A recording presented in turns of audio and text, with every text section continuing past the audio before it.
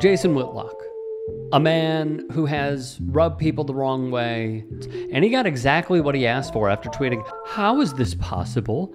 Appropriate? Jason, they're called targeted ads. You dope. You goober.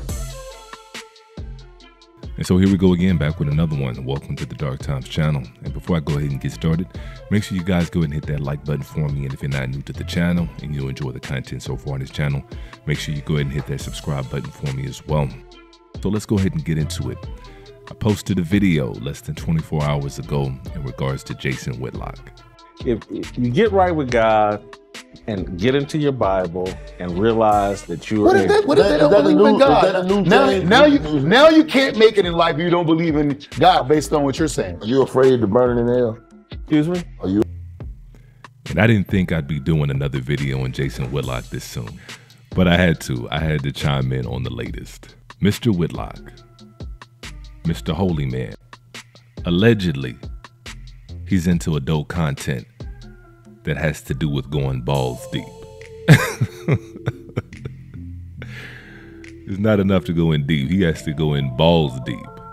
Allegedly. At least that's what his targeted ads suggest. And this is not one of those videos where I'm going to bash somebody for looking at adult content. God forbid. Do what you want. You're an adult. You should be able to do what you want. You should be able to do what whatever gets you off see the world, enjoy yourself, fulfill every erotic desire. As long as you're not hurting nobody and you're not breaking any laws, do what you want. And so this is not one of those videos where I'm bashing somebody for looking at adult content. But the fact that Jason Whitlock went on social media to complain about some inappropriate ads that were popping up on NFL.com says a lot. This whole far right Christian family values is a facade.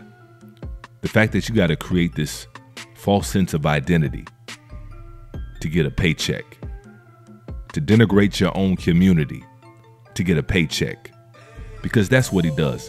Jason Whitlock would have you believe that he's out here getting it from the mud. He's out here building something on his own. He doesn't even own his own show. It's owned by The Blaze. And if some of you aren't familiar with The Blaze, The Blaze is one of these far right wing conservative networks. What rights black people don't have. Also, white people, yeah, we do have a record of critique of your oppression. In fact, do you know how many of our ancestors fought in the Civil War to free your ancestors? Bloodiest war in the United States history was over what was right, and it was largely white people fighting it. And they spew a whole bunch of right wing conservative talking points. That's who's writing his paychecks. So that's why you notice when he has these panels he's always surrounded by a whole bunch of just random white dudes in the background looking on. That's because he's owned by the Blaze. And that's part of Jason Whitlock's whole stick. It's for black people to stop asking for handouts and get out here and do something for yourself. Well, not everybody's comfortable being a sellout. It's a law and people just obeyed the law at the time. And when I was growing up, I had to pick cotton. The, the guys were taking out. You were born on a have, plantation. Have you ever picked cotton? No, sir. You have not lived until you pick cotton. You're being too controversial for me. You're gonna get my show taken off the air. It's fun to pick cotton. It's fun. it makes a man out of you. Really? Because most blacks are so lazy now. Oh, Jesus. Be- because of the government. In all of those things that exist for black people, like standard of life, quality of life, I'm wondering, is America possibly not playing the same game with us that it is with everybody else? Or is your answer to that entire glob of inequity basically that niggas ain't shit?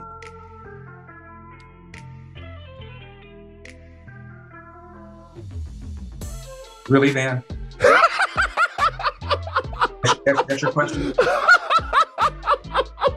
And so Jason Whitlock is just one of the latest people to get called out for his hypocrisy. And if y'all notice, it's always these far right wing evangelical conservatives that get caught up in these illicit scandals and deals like this. I'm not saying that this is an illicit scandal or anything like that. It's Jason Whitlock being overly sanctimonious about an advertisement that was targeted to him based on what he was looking at, based on his search history. And only God knows what he was looking at. Because, truth be told, allegedly, he might be another Jesse Lee Peterson. Allegedly, he could be into a little bussy on the side. He's out here talking about a family, and this is a man that's never been married. This is a man with no kids. Family, family, family, family values. But yet, no wife, no kids in sight. And so that makes a lot of people wonder. You got to watch out for these right wing conservatives. You got to watch out for the liberal ones too, but at least the liberal ones are up front with their freakiness. So that's why I say these conservative ones be the worst ones. You want to talk about skeletons in closets.